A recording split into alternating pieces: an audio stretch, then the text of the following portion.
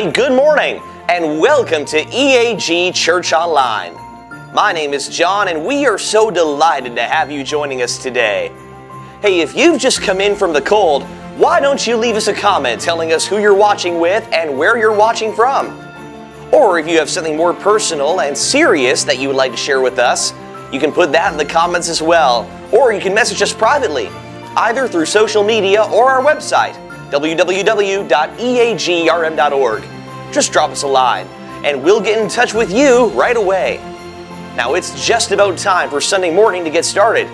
So, if you haven't already, and maybe you have, now is the perfect time to get a Bible in one hand and some nice Christmas cocoa in the other as we get ready for another amazing morning of EA. Let's try that again. So, if you haven't already, now is the perfect time to get a Bible in one hand and a nice Christmas cocoa in the other as we get ready for another terrific morning of online church.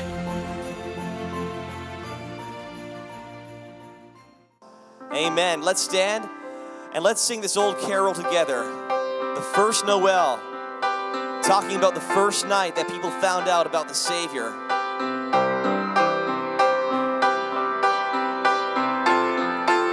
Sing together. The first Noel, the angel did sing, was to certain poor shepherds in fields as they lay, in fields where they lay keeping their sheep on a cold winter's night that was so deep.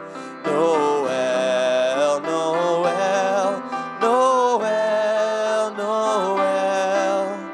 Born is the King of Israel. All right, take a deep breath, and let's get ready for the second verse. They looked up and saw a star shining in beyond them far,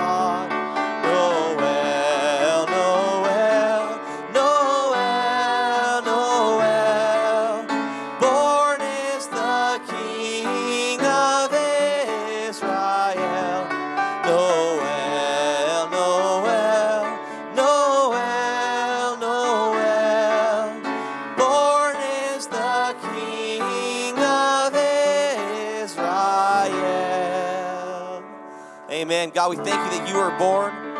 You are here. You are with us. You are Emmanuel. God who saves, God who delivers, God who heals. Let's clap our hands and let's celebrate our saving God today. In the name of the Father, in the name of the Son, in the name of the Spirit, Lord, we come. We're gathered together to lift up your name, call on our Savior, to fall on your grace. Let's sing that again in the name. In the name of the Father, in the name of the Son, in the name of the Spirit, Lord, we come. We're gathered together to lift up your name, to call on our Savior, to fall on your grace. Hear the joyful bow down, as your people sing, we will rise with you,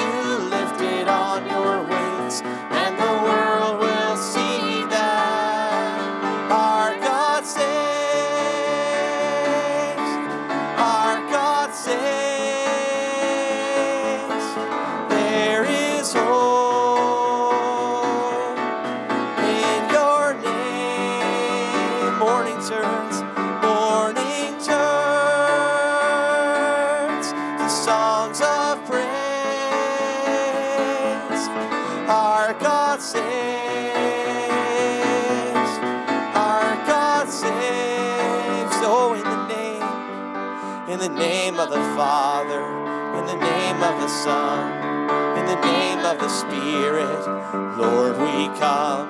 We're gathered together to lift up your name, to call on our Savior, to fall on your grace. Hear the joyful sound of our offering as your saints bow down, as your people sing.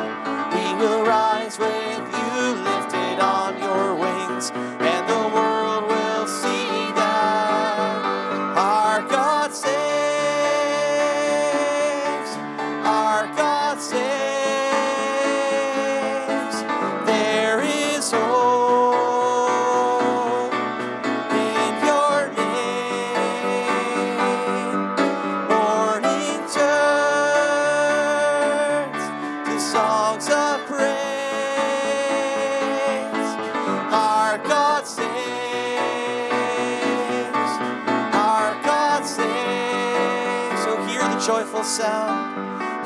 joyful sound of our offering. As your saints bow down, as your people sing, we will rise with you, lifted on your wings, and the world will see that,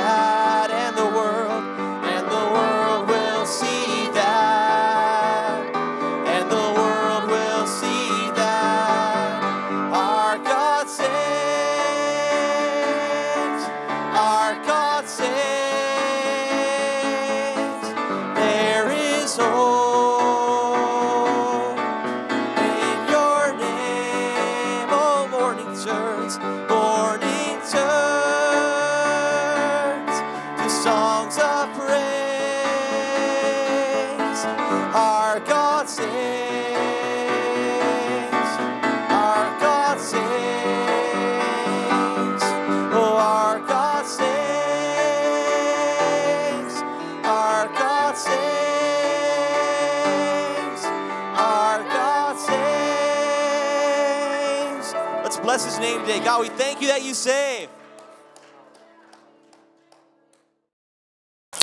Well, hello again, everybody. I hope that your Christmas season is going well, whether it's warm or cold where you are. Uh, it is Christmas season, and so that's so awesome as we as we think about all the preparation that takes for all of us, you know, to just decorate, to get gifts and that, and it's a blessing. But but most importantly, when I think of this time of year, I think about children. You know, children are, so uh, precious. You know, they're so excited. Nancy and I got to see a couple of our granddaughters do their little Christmas dance recital the other day, and it's cute and it's wonderful. And so we're, we're happy to see that. And so there's a lot of things with kids. And I know that uh, I was reading some of the children's letters uh, that I read in a story about letters that they wrote to Santa, and there were two or three that, that, that just stuck out, just, just thinking about how kids think. And one of them said, Dear Santa, you didn't bring me anything good last year. In fact, you didn't bring me anything good last year. This is your last chance. Sign Albert.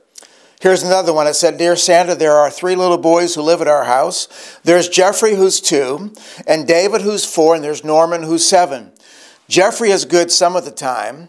David is good most of the time, and Norman is good all the time. I'm Norman.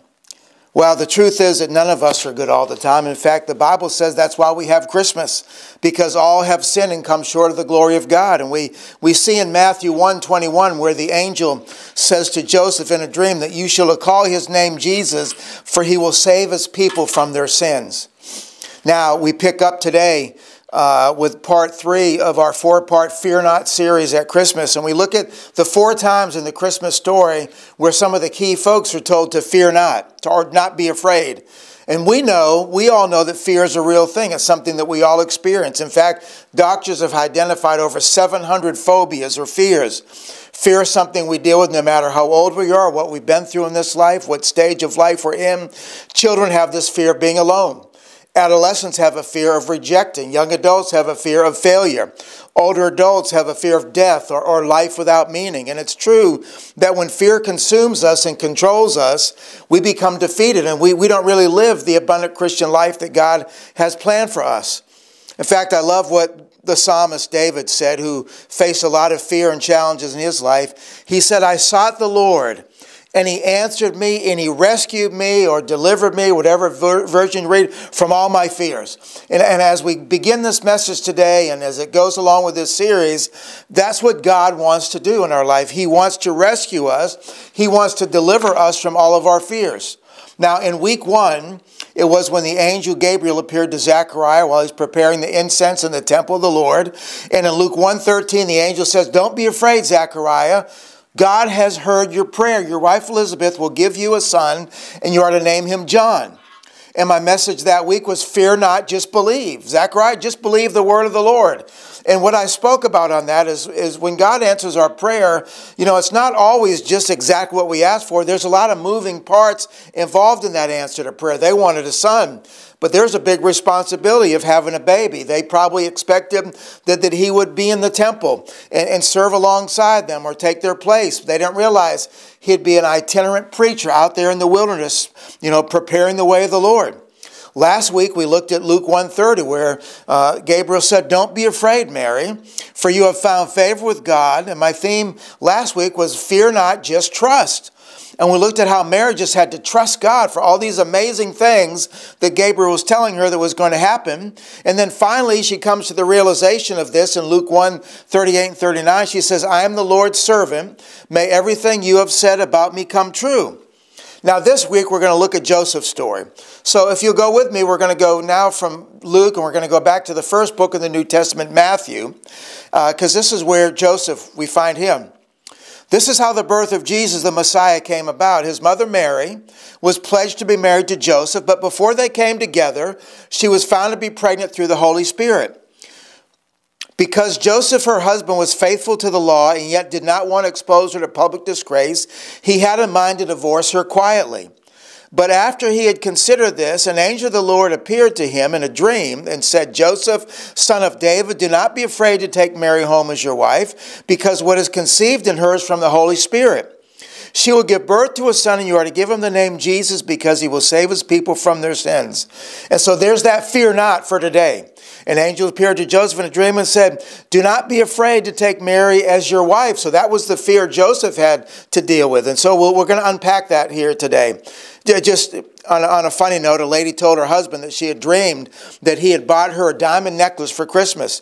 The husband responded positively to her dream by bringing her a beautifully wrapped present.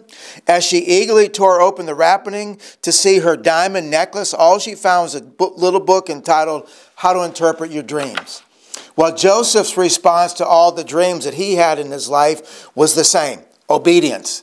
The title of today's message is Fear Not just obey. So let's pray and get ready to receive this. Father, this is your holy word.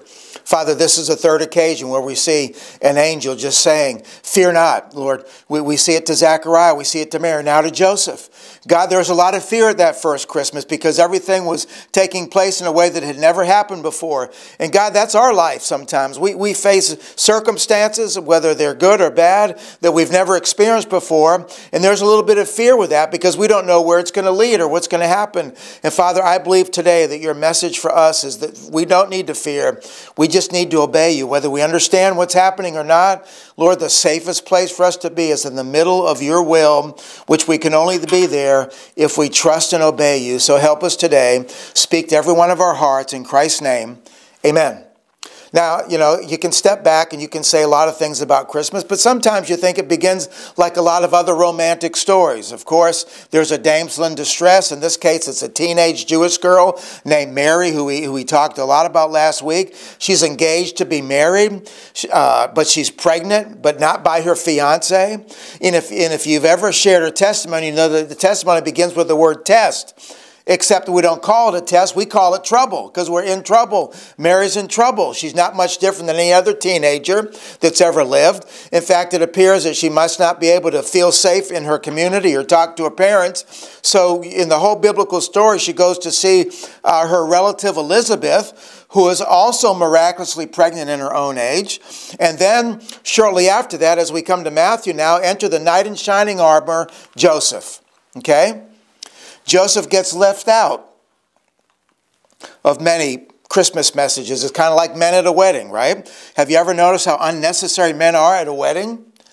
The ladies have on their beautiful dresses and the flowers, and the newspaper tells you all about the bride and who made her dress and everything about the gown and, and, and the bridesmaids, what they're wearing. It never tells you how the men are dressed. And I've been to many weddings and uh, proceeded over many weddings. And men dress all kind of different ways, from, from jeans and suspenders to just the best tuxedos you can afford. Speaking of weddings, I heard about a 90 year old man who went to the doctor. The doctor did a complete physical on him, and then after the physical, he sat down with him and talked to him about the report. The 90 year old man listened, he nodded, shook his head, thanked the doctor, and went on his way. A week or so later, the doctor and his wife happen to be at a wedding. He's eating dinner and he sees out on the dance floor this same 90 year old man cutting it up with a 30 year old blonde beauty. And it's just like, who does this guy think he is? And after the song was over, he pulls him off to the side. He says, What are you doing? He said, Oh, I'm just doing what you told me, Doc. He said, Well, what did you hear me tell you? He said, Well, you told me to get a hot mama and be cheerful. The doc said, No, I didn't tell you that. I told you you have a heart murmur, so be careful. Now, surprisingly, Joseph does not say one word in all the scripture narrative. Angels speak. Mary has a conversation with Gabriel and sings a praiseful solo. Wise men talk to Herod and worship the newborn king. Shepherds talk to angels and preach the good news. Joseph is silent. There's no sound bites, no quotes, no words of wisdom. We find him just listening, trusting, and most importantly, you're going to find in his story, he just obeys the word of the Lord. We assume he speaks because we can imagine him, you know, having conversations with Mary about all of this that's happening, maybe about her parents and his parents. We can picture him talking to the innkeeper, the shepherds, the wise men, all of them, but none of that conversation is in Scripture. The Holy Spirit chose not to give us a single word of Joseph in Scripture. we know he's a carpenter by trade, he makes things fit together. You know, he's learned how to measure twice so that he cuts only once. He's not used to surprises because when he builds anything or does construction, he always has some kind of blueprint or building plan before he proceeds. So in Act 1 of God's redemption plan, he's caught, like Mary, between what God says and what makes sense. Have you ever been there? Has there been times in your life when you've questioned God's plans? Or, or the circumstances in your life, and you say, How can God orchestrate this? What, what in the world is going on? So, even though Joseph doesn't say anything, there are a lot of things we can say about Joseph. So, go with me to Matthew 1 18 and 19. Now, the birth of Jesus Christ was as follows. When his mother Mary had been betrothed or pledged to marry Joseph, before they came together, she was found to be with child by the Holy Spirit. Because Joseph, her husband, was a righteous man and did not want to expose her to public disgrace, he had in mind to divorce her quietly. Now, at first sight, this, this might be a little bit confusing to some of you because in verse 18 it tells us that he's betrothed or he's engaged to Mary. Then in verse 19 he tells us he's thinking about divorcing her. And then in verse 20 she is called his wife. So Jewish marriage was a three step process. First, there was the engagement stage. This was the contractual stage between both sets of parents, that they, the arrangement for these two to be married. The second, second stage was called the betrothal stage. This would be equivalent to our engagement. It lasted only about a year, and it was a bridal uh, binding contract that could only be dissolved by death or by divorce. This is where we find Mary and Joseph in the story. And it's during this stage they were married in, a, in every way except sexually. Then would come the marriage itself, where they would enjoy, you know, a, a marriage as we know marriage. Now, Joseph, we find here, has a real problem on his hands. He has a young teenage fiance who's pregnant, but it's not by him. So there's this big time tension that's going on in Joseph's life. And the tension is between the love that he has for her and, you know, what his plans are, and the tension between what the law says. On one hand, he knew exactly what the law said that if a man found his wife to be was unfaithful, he could make a public disgrace of her, or, or he could put her away privately. He, he could even have her put to death. On the other hand, this is the love of his life. At this point, Joseph has some doubts. He doubts Mary. He, he doubts her character. He doubts her purity, her virginity. Obviously, you know, she's pregnant. How can she still be a virgin? He doubts God because even though Mary by now had told him how all of this happened, you know, this has never happened in the history of the world. There's no place of this in the scripture anywhere. So, so he, he doubts all this. He didn't believe how it could happen. Then he doubts himself because he didn't know what to do. Well, verse 19 says this And Joseph, her husband, being a righteous man and not wanting to disgrace her, planned to send her away quietly. I love this about Joseph. It gives us a glimpse into his character because most people, when they find themselves in, in a difficult situation, they think, How is this going to affect me? Am I going to look bad in the community? Are people going to think bad about me? But he, he's not thinking like that. He's mostly concerned about how this will affect Mary, the person that he loves. And I think in our world, if we would think in these terms, how much better the world would be if we're concerned about the other people and what they're going through. See, Joseph did something we should always do. We're in the middle of a situation where we don't know what to do. We should pray. And we should pray, and we should pray until we get an answer from the Lord. Well, it says here, but when he had considered this, in other words, he's prayed about this, he's thought about this, he's coming up with a plan.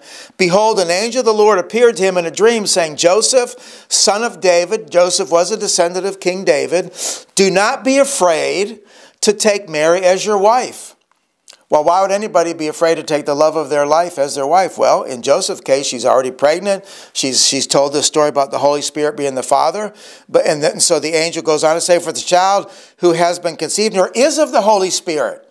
What she says is true, Joseph. She will bear a son, and you shall call his name Jesus, for he will save his people from their sins. So God intervenes and gives him the whole plan. Matthew then gives the explanation of, of why God was doing this. Verse 22 Now all of this took place to fulfill what was spoken by the Lord through the prophet. I've said this many times in Christmas messages, but just so you know, this word fulfill is a key word in the Gospel of Matthew. It shows up about 15 times, and the reason is, is the Gospel of Matthew is primarily written to the Jewish people.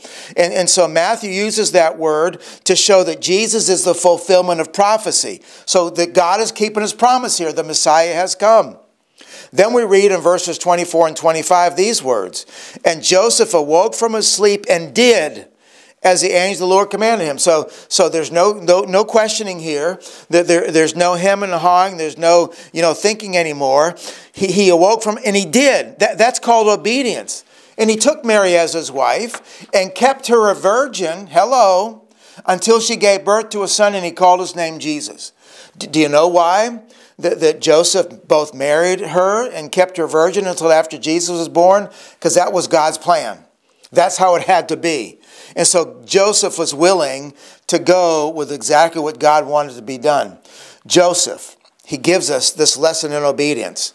Well, if you are in the middle of a situation right now in your life where you doubt whether or not you can make it. You, you doubt whether or not you can keep on going, or you doubt whether or not you can survive. Learn this lesson from Joseph. Obey even if you don't understand what God is saying. Obey if you don't even fully know what the word says. Obey if it doesn't make sense. So here's what we know about Joseph. Okay? Joseph, first of all, was righteous in his walk with God. The Bible just says this.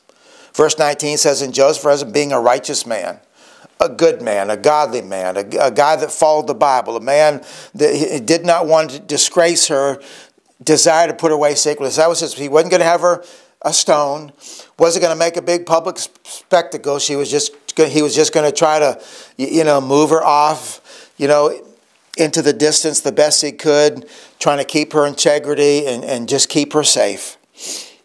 And before he had a clear word from the Lord, he's already pondering in his mind, how, how can I help this person that I love? Mary's pregnant. Joseph is troubled. He's confused, but the righteousness of Joseph caused him to do a couple things. Number one, he treated Mary very well. We see that here. He wanted to put her away privately. He could have disgraced her. He could have publicly been the catalyst in taking her life. And do you begin to see how important Joseph is in the Christmas story? We talk a lot about Mary, and Gabriel shows up a lot, and the shepherds and the wise men, and all of this. But, but a lot hinges on Joseph's decision just to obey God in every step of the journey here. He was a righteous man, not only because he treated her well, but he, he did not break God's law. Even though she had perhaps been unfaithful, he still not, doesn't really know. He's just trusting God. He wanted to treat her well. He could have had at that moment said, Everybody's going to think that the baby is mine. And, and, anyway, so I might as well go ahead and have sexual relations with her. But, but he didn't do that. He said, No. God's way is the right way. I'm going to marry her and I'm going to keep her a virgin until this baby is born. And let me, let me just throw in a little life application that I've thrown in talking about Joseph before is that the people closest to us most often test our relationship with God the most, don't they? People closest to us, they test our relationship with God the most. They challenge us the most because we're, we sometimes have to love people in our life that are not very loving. We have to love people in our life that maybe have treated us the wrong way. You know, we, we've got, you know, the scripture, the Bible, living for God, if it makes sense, it makes sense in our everyday life, okay? So this is true in Joseph's life with Mary. He loves her. He longs for the day when they're going to be fully married. And suddenly this blows up in his face. And yet he obeys God because he was a righteous man. We see that Joseph was inwardly strong and courageous. God's word for that description is meek. In Matthew 5, in the Sermon on the Mount, Jesus says, Blessed are the meek, for they shall inherit the earth. Meekness toward God is that disposition of spirit in which we accept His dealings with us as good without disputing or re- resisting or whining. We, we, we just, you know, we just trust God. We just obey Him if it's up to us. And so when something goes wrong, the first reaction of most people have is, how will this affect me? But Joseph's reaction is how this is going to affect Mary, and I want to do what's right for her. I, I say we need to adopt that in our life. See, nothing is more revealing about our maturity than the way we respond to difficult situations. We, will we react in self defense or self preservation or, or in love and trust and kindness and forgiveness and obedience? Joseph's love for Mary reflects Paul's definition in 1 Corinthians 13 about love. Love is patient, love is kind.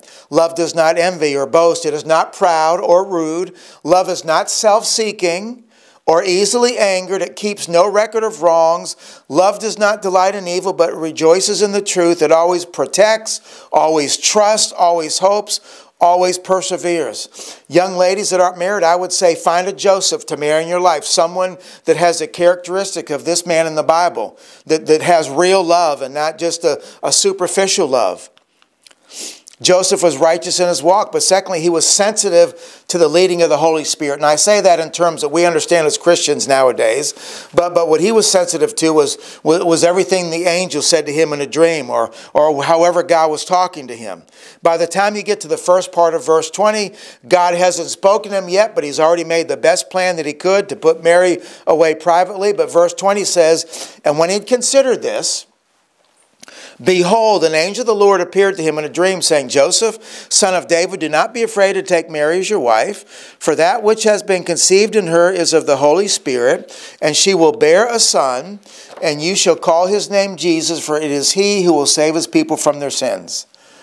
I'm amazed at the receptivity of Joseph at this point. It's hard to hear from God when you might be angry or, or emotional or confused, which, which Joseph was probably all of this to some degree. In fact, it's difficult for us to listen and be sensitive to the Spirit when we've already made our own plans. Right? We do that sometimes. Or it's hard to be sensitive to the Spirit when we are overly emotional about the problem, where we're not listening, just our emotions are banging in our head. You know, we're not sensitive to the Holy Spirit when risk is involved. You know, when the Holy Spirit wants to gently tell us the right way, but it might seem risky, we might not want to go in that direction. It, it's, di- it's difficult to be sensitive to the Spirit when God's plan doesn't make sense, and sometimes it doesn't. In their life, it didn't. In our life, sometimes it doesn't. It's hard to be sensitive to the Spirit when we fear what other people might think or say. All of these things are true. All of these things were happening in Joseph's life. I can promise you that. And when we cry out like Joseph, God, how can this be? We, we better be still long enough to hear the still, quiet voice of the Holy Spirit come to us and say, This is the way, walk in it. That's what's happening here. Jo- Joseph had a dream, but, but you and I have the benefit of being filled with the Holy Spirit who leads us in the way of righteousness.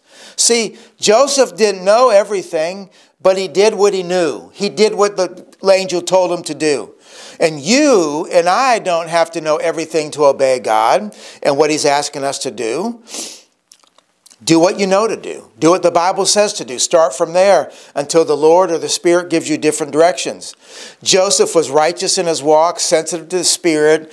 And thirdly, what, what our main message is, he was complete in his obedience to God. Complete. He was immediate in his obedience.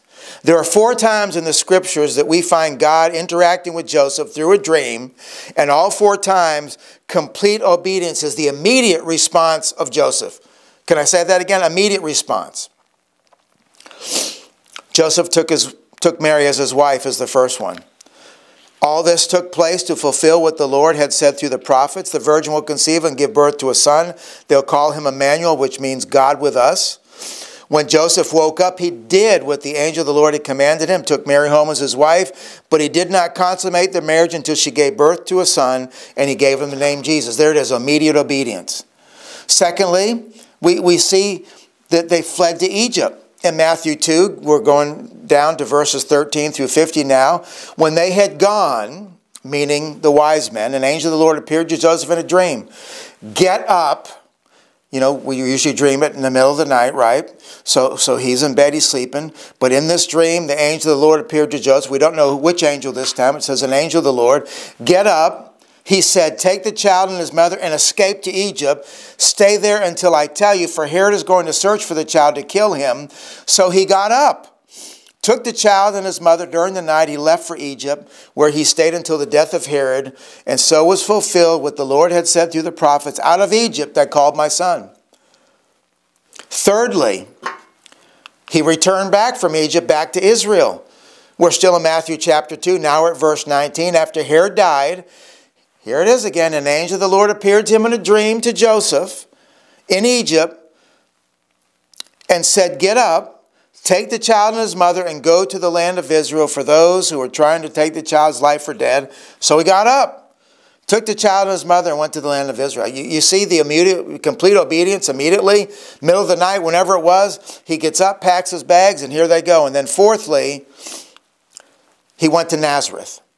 In Matthew 20, verse 22 and 23 of chapter 2. And being warned by God in a dream, he departed to the regions of Galilee. In other words, he just didn't go back anywhere in Israel. He went specifically to the regions of Galilee because if you read the couple verses before that, there was some other leader that, that might be dangerous. And so, being warned in that dream, they went to the regions of Galilee. Obedience meant risk for Joseph, and it means that for us, doesn't it? It means the same. That's what faith is. It's learning to trust and obey. You know, you ever remember you remember growing up as a kid and maybe maybe your parents told you to do something and, and you your response was why? You know, especially when you're a young teenager or, or getting to be an older kid, parents tell you to say you say why. You ever get that answer from your parents where it's not a real answer? They said, because I told you so, that's why. And I know as a parent, I probably said that a time or two to my kids. You know, they, they say, well, I said, because I'm telling you, just do it, you know. And, and maybe it's because there's no good answer that they will accept, or maybe it's because you don't know what to tell them at that moment. You just need them to obey. But we, we don't see Joseph here. He's a righteous man, remember. So we don't see him fighting back or questioning God. We, we just see when he hears the word of the Lord, you know, he's up and he's doing it. So when we when we look at this, you know, the uh, uh, just the summary of all this, we see Joseph obeying God in the middle of doubt. Okay, if you look at all the scenarios, we, we see that he obeyed God in the middle of danger. You know, he, he just trusted God knew the best path to keep them safe. He obeyed God in the middle of difficulty. And I'm telling you, you folks, there are times when God's will is not the easiest thing to do. There are times when God's will is not the most convenient thing to do. It's not the thing that you want to do. It's not the thing that'll feel right to do. There are times when, when things are not turning out the way we plan. But I'm telling you, don't let doubt, don't let danger, don't let difficulty or confusion disrupt or keep you from just obeying God. You know, it's like that old song that we used to sing growing up trust and obey. There's no other way to be happy in Jesus but just to trust and obey. So I'm telling you that God's way is not always the safest way, but God is the surest way to be in that place where He can bless you, where He can protect you, where He can watch over you, where you can be in the middle of His will. So, what's the takeaway for us as we think about Joseph? We, we don't know what's coming around the corner. You know, as I'm giving this message just a few days ago, there were horrendous tornadoes that went through Kentucky dozens and dozens of people killed. Still others are missing at this point, and I think that, that's, that, that's a terrible tragedy in itself. And we know we add to that tragedy that it's right before Christmas. And why, why is it a more tragedy around Christmas? Because Christmas is about family. Christmas is about you know people wanting to go home and be with family and just relax and, and, and, and enjoy the preciousness that we have. See, we don't know what's going to happen. And there are going to be many, many things in our life that we endure that don't make sense. We may never understand some things that we've gone through until we get to heaven one day, and God reveals it if He wants to. So, in difficult moments, rather than try to answer unanswerable questions, we do better just to trust God and just obey where He's leading us and just believe what we should believe about God that He's loving, that He's kind, that everything He does is, is right. He doesn't make mistakes, that all things will work together for those that love Him.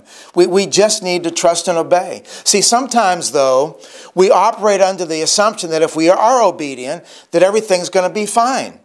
And, and so I don't want to I don't want to rain on your parade here, but that's not always the way it works. The Old Testament Joseph was sold into slavery by his brothers. He was falsely accused by, by, by, his master Potiphar's wife and thrown into prison. Daniel was obedient, did everything right, was as godly as can be, but was thrown to the lions.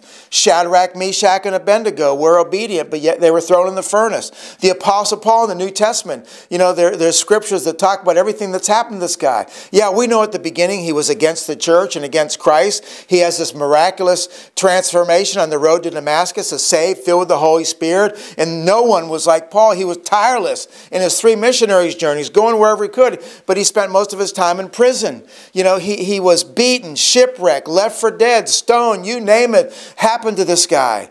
But he was obedient to the call of God. In all those situations, though, God was with them. And the bottom line is that as, as we walk in obedience to the Lord and what He's calling us to do, He'll be with us. He was with Joseph and Mary. Nothing happened to them well, as long as Joseph was getting up and going where they said. They were safe, they were fine. And you think of all the trust that God had in this one earthly man to be, you know, the, the human father of Jesus. But God could trust him because he was a righteous man. Jesus said, Those who accept my commandments and obey them are the ones who love me. I wonder today, what is it God is calling you to do? What it is that you might be afraid of that if you step out in obedience in that direction. What, what makes you afraid?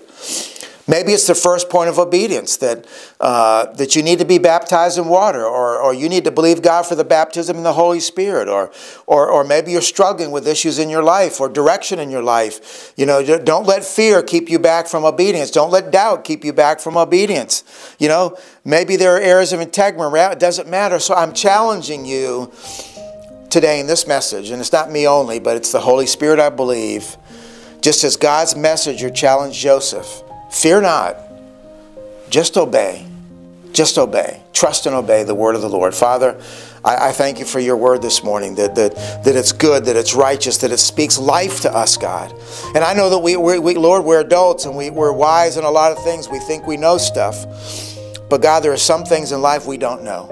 There, there are some intersections we come in life, we don't know which road will be best. It seems like there's a road that seems like it will be the best, but there's, Lord, it might not be.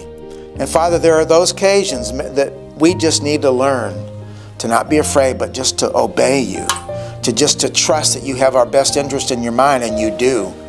And you promise, Lord, to never leave us or forsake us, but to walk with us through all the days of our life. So, Lord, I pray for those that are a little bit timid right now, a little bit afraid or whatever, that they can just find it in their heart to obey the word of the Lord, to obey the leading of your Holy Spirit, to just step out in those areas where you want to bless them beyond what they can think or imagine.